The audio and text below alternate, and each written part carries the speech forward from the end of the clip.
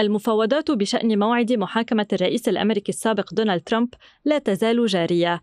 رئيسة مجلس النواب الأمريكي نانسي بيلوسي قالت إن الأيام القليلة المقبلة ستشهد بحث موعد المحاكمة، مضيفة أن إرسال بنود الاتهام إلى مجلس الشيوخ في قضية التحريض على التمرد مقترن بمدى استعداد المجلس لتلقيها.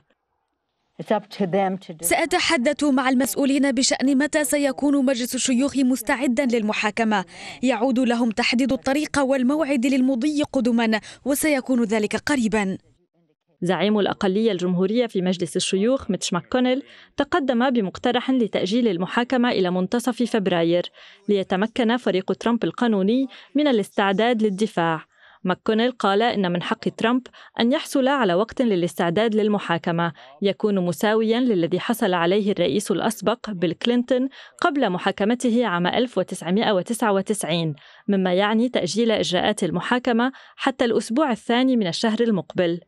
الجدول الزمني الذي أعده ماكونيل يقترح تقديم مجلس النواب لبنود المحاكمة إلى مجلس الشيوخ يوم الثامن والعشرين من يناير وأعطاء فريق ترامب القانوني 14 يوما لإعداد موجزهم ما قبل المحاكمة. السناتور الجمهوري مايك براون رجح أن تعقد المحاكمة في العاشر أو الحادي عشر من فبراير. أما ترامب فوكل محام من ولاية ساوث كارولاينا يدعى بوتش باورز للدفاع عنه.